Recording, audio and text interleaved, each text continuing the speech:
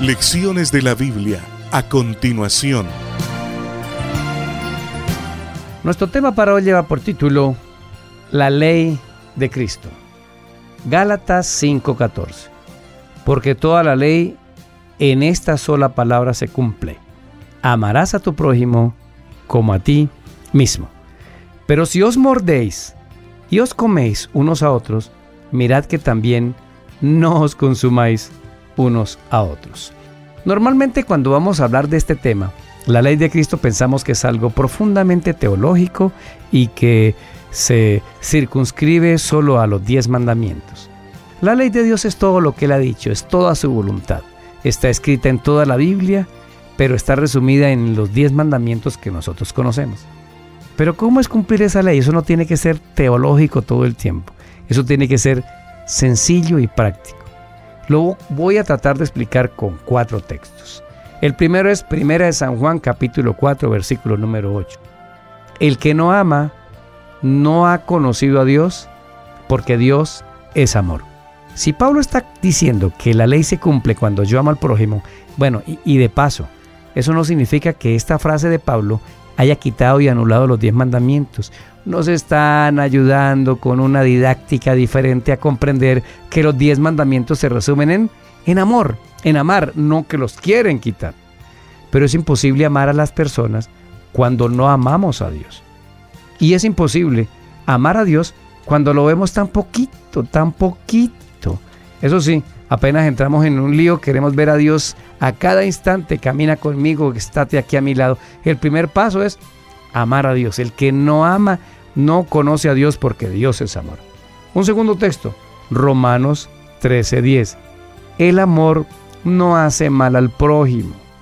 Así que el cumplimiento de la ley es el amor. Entonces primero yo amo a Dios.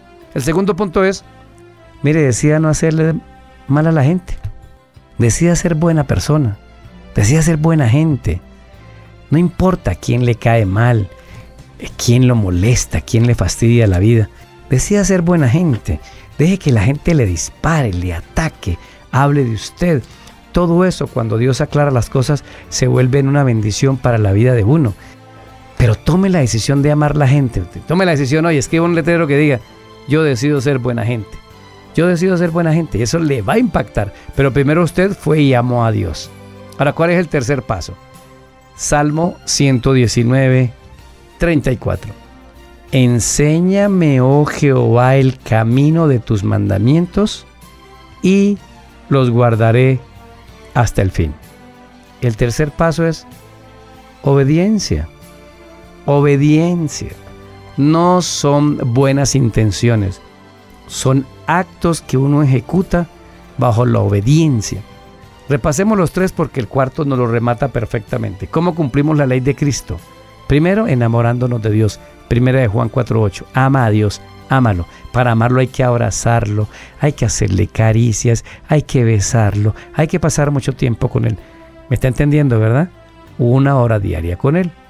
Después es, tomo la decisión de amar a otras personas como Dios me ha amado a mí. Y la tercera es, me voy a dejar enseñar de usted. A ver, enséñeme. Yo conozco gente que lee la Biblia y dice, yo no entiendo. Es más, ni disfruto. Buenas noticias, va bien va bien. ¿Acaso es que eso es una mina en donde encuentra el oro en la entrada?